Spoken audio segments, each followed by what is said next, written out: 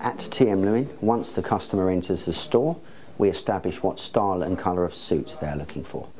Most customers do not know their size, so we establish this through our measuring services. Hello, I'm looking for a navy suit for work. Okay, step this way, sir. Thank you. I'm going to start by showing you a two-button navy suit, but first, can I establish your chest size? Absolutely.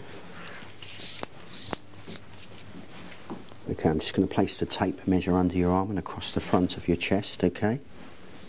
And you're going to be a 36 inch jacket, sir. Right. Okay, perfect. Okay, I'm just going to ask you to try this on very quickly for me. Thank you.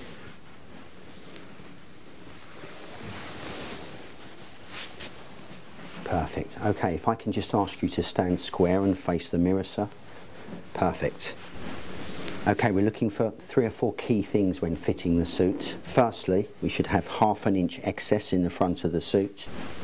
It allows you to see the curvature of the jacket and the silhouette. If the jacket were pulling across the centre button, it would be an indication of the jacket being too small. And if the space in the front was bigger than half an inch, then you would have a jacket that, that looked more square and unstructured, okay? So the half an inch enables you to see the curvature here.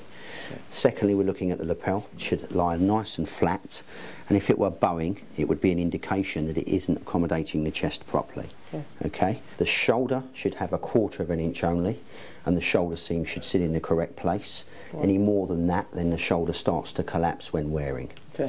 With regards to the cuff, you should have the jacket sitting where the hand meets the wrist and having the uh, thumb line open at all times, okay? Now, establishing the correct length for you as we do three jacket lengths, sir, Right. we're looking to use the rule of thumb. You extend your arm and the thumb, and the jacket should meet at the tip of the thumb, which is an indication that you're in the co- correct length.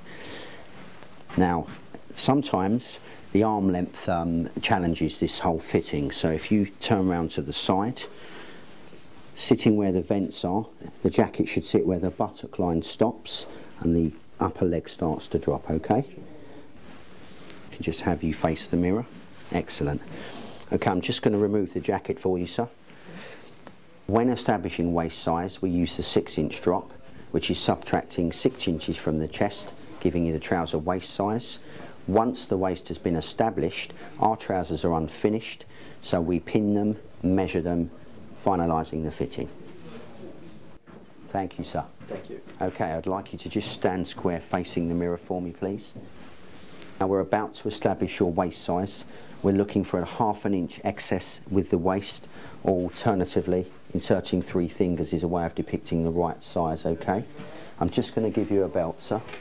There we are, if you pop that on. You're currently in a 30 inch waist trouser. Now, as the jacket was a 36 chest, suiting works on a 6 drop. So if you subtract the 6, it gives you the appropriate waist size, okay?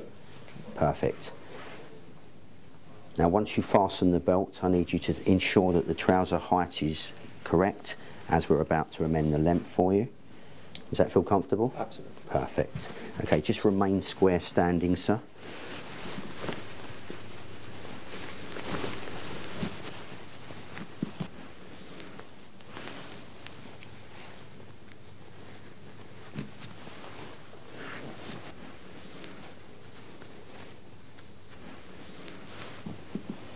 Okay, so with regards to the trouser length, it's very important that we have a single break just as the fabric hits the bridge of the shoe.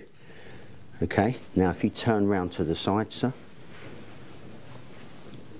Now it's also very important that the fabric sits just on the top of the heel. Okay, so if you like to face the mirror again for me. Perfect.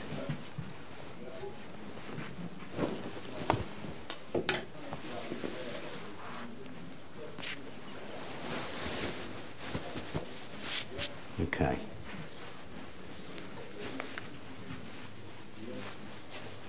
There you are, sir. That's your suit fitting complete. Thank you.